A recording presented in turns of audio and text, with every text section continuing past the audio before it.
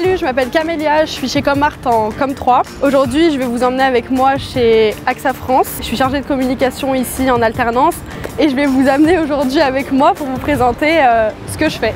On y va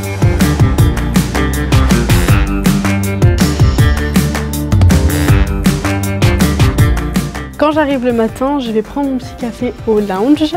Ensuite, j'ai ma réunion avec Émilie, qui est ma tutrice, où à ce moment-là, on met à jour notre calendrier édito. On échange sur les prochains posts qu'il va y avoir et sur les prochaines créas que je vais du coup devoir euh, faire pour les sujets. Ensuite, je commence à faire ma créa jusqu'à ma pause midi. Euh, je vais manger.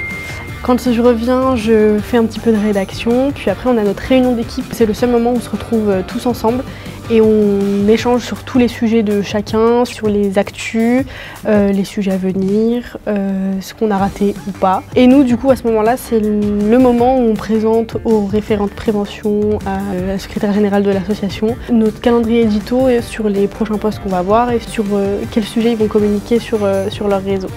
Ensuite, après ça, je continue ma partie créa et ma partie rédac en fonction de ce qu'il y a dans ma to-do list. Puis après, ma journée, elle est terminée. Et des fois, je prends des petits goûters aussi.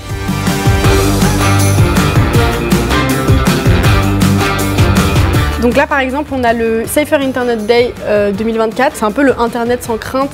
Donc c'est le moment où on incite les gens à être engagés, à, être euh, beaucoup plus prudents sur, le, sur les réseaux euh, et sur Internet surtout sur tout ce qui est harcèlement, euh, cyberharcèlement. Étant donné que euh, Eric, qui est le président, et Clotilde, qui est la secrétaire générale, communiquent sur ces sujets-là, moi en général, il faut toujours que je fasse des petites créas.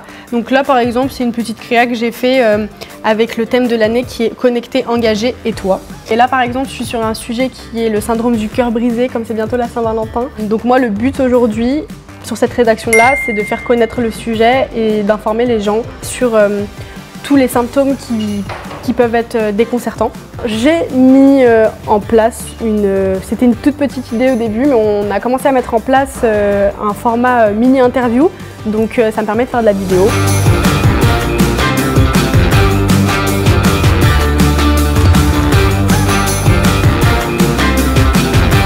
J'adore faire ici, c'est euh, les réunions d'équipe. On travaille tous sur les mêmes sujets, donc il y a énormément d'échanges. L'esprit d'équipe ici est incroyable. Je trouve que c'est une richesse. Moi, j'ai une partie créa et j'ai une partie CM aussi, donc je fais aussi du community management. Toute la partie créa que je fais, c'est pour les réseaux du coup. C'est une partie que j'aime bien parce que je mélange graphisme et euh, réseau et c'est deux choses que j'aime énormément et que je veux aussi faire plus tard. Donc j'ai réussi à trouver une alternance qui me permettait de faire les deux.